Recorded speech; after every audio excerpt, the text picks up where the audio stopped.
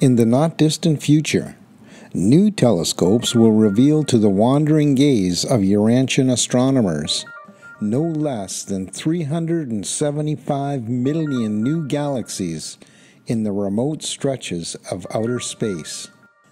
The Urantia Book, Paper 12, Section 2, Paragraph 3.